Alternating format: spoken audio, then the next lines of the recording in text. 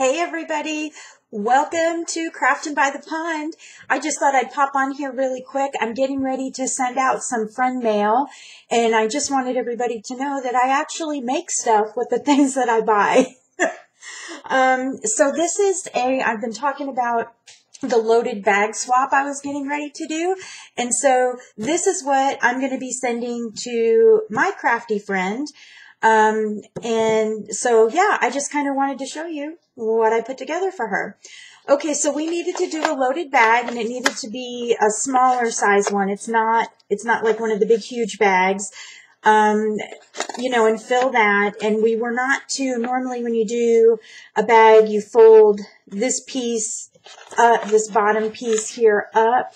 Um, but because the bag was so small to begin with, we decided um, just go ahead and glue this part down and then you can make a pocket or whatever on the outside. So that's what I did. Um, the bag originally started out this pretty pink color. Looks kind of white on the video. So this is the back. Um, and I used um, a, a, topper from the uh, Echo Park Happy Easter. So, and then I just had, this was some um, very old, I borrowed this from my stash. Um, this paper, honestly, I don't know where it's from. I don't remember. Uh, and I think I must have had this paper probably for like a good 10 years. So who knows? The company's probably out of business. Um, so what I did here, I'll just start from the bottom here and work my way up. Um, I had um, some pretty uh, cloth that I picked up from Tuesday Morning the last time I was there, and I ran um, a die through my big shot, and I laid instead of using paper to cut out the uh, the die, I used this little piece of fabric here, and it's a fat. It was a banner for like one of the bow sets that I have.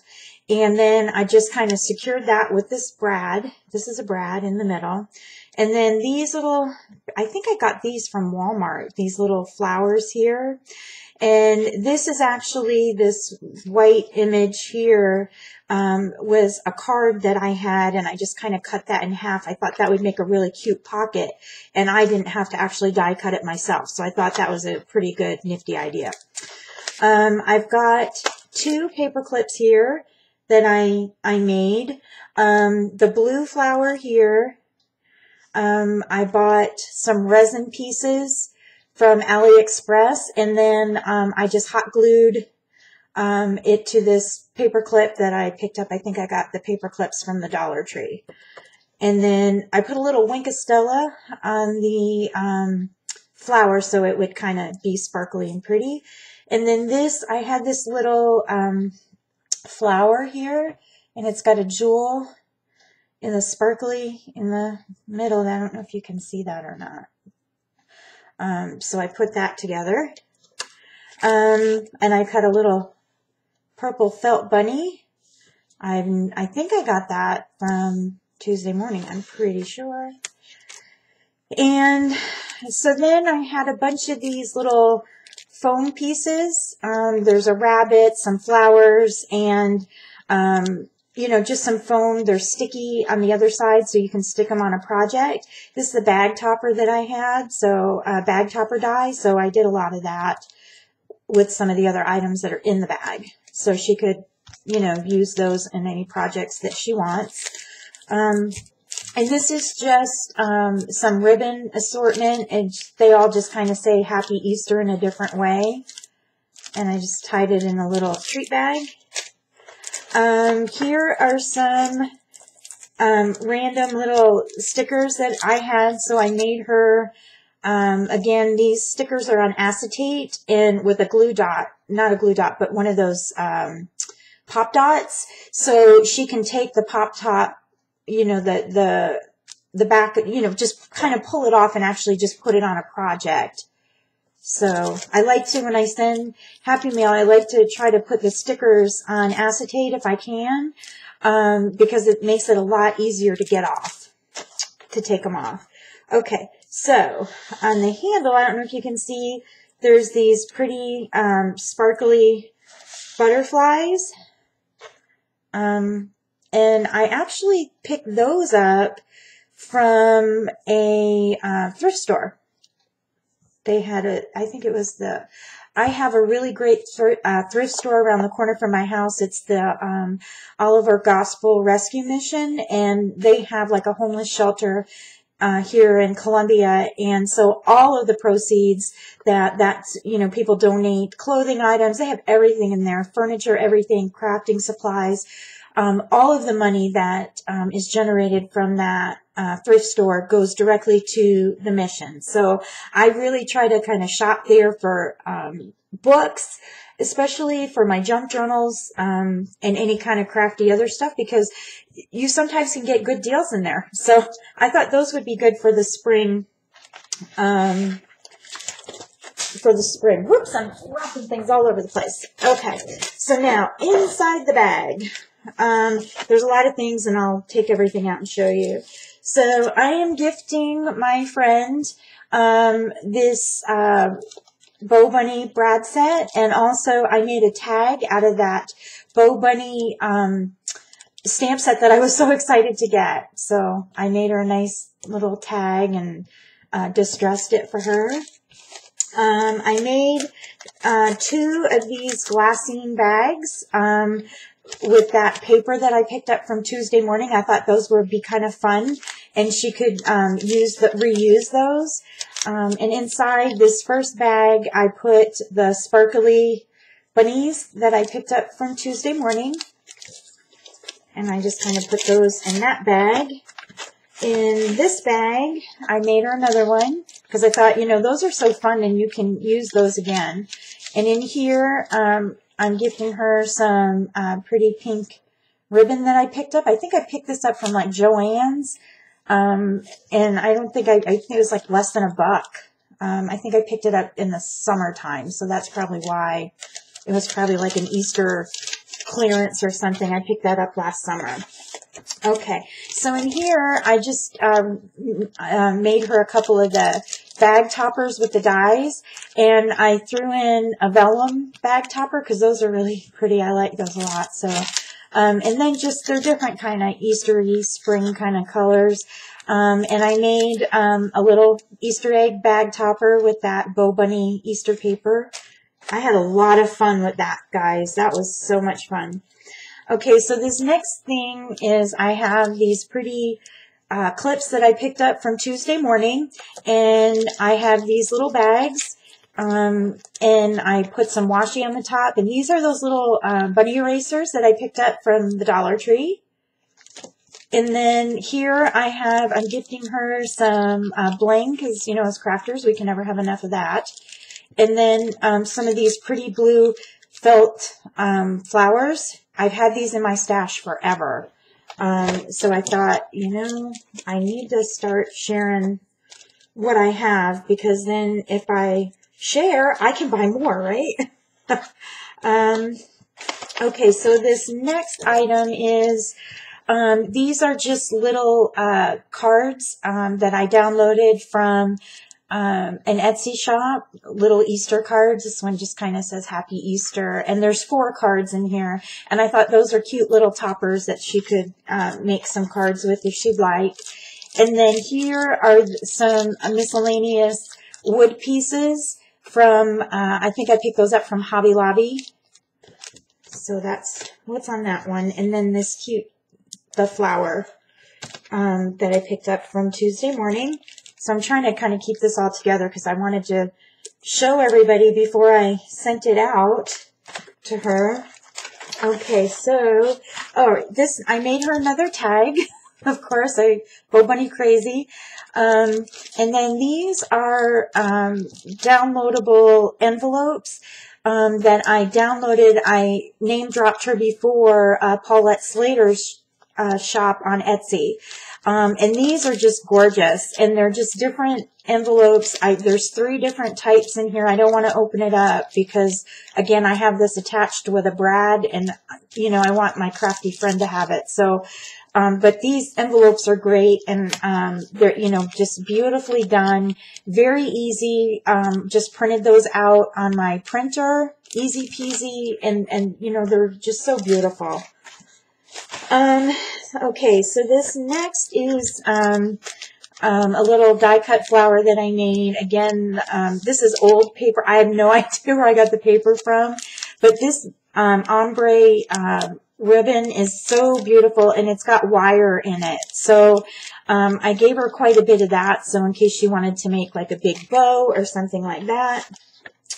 This next item that I'm gifting her is the, um, the that cutout treat um, basket that I showed you from Ann Melvin's kit. Um, and I also ran it through, I don't know if you can see it, I ran it through my embossing machine. I have the Stampin' Up! basket weave uh, embossing folder. So I thought that would be super cute. Um, and she could, you know, put those together. I gave her two of those. Um, the next item is just a small little notebook with a pen. So um, I think I picked the notebook up from like Walmart. And uh, the pens I think I bought on clearance. They were Valentine ones, so I picked those up on clearance. And then this was just a, a tag that I had made that's been in my stash forever. Um, oh, and I've also uh, gifted her some two pens and I two pencils, and one says "Look Sharp" and the other one says "On Point." And again, made a little topper. Um, okay, so now this next one is. Uh, an item that I really wanted Mary Beth to see. Mary Beth from MB Gray Designs did um, this tutorial, um, like question answer live on um, YouTube on Saturday, and I was I asked her if she could please show us how to make a rosette because guys, I have tried to make a rosette over and over and over, couldn't do it to save my life. But look, Mary Beth, I did it. I made one. and it looks so pretty. Um, so thank you, thank you, thank you so much for showing me how to do that. It's beautiful. Um, I use the uh, Echo Park paper, and then there's the little bunny. So this is my first ever rosette, guys. So I was pretty proud of myself and I'm giving it away.